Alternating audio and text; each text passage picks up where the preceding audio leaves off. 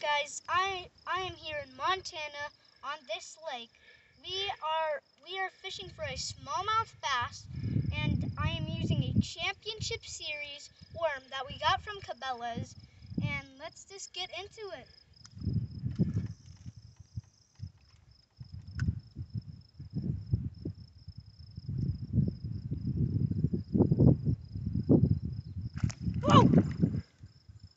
Holy crap! Papa, I got a bass!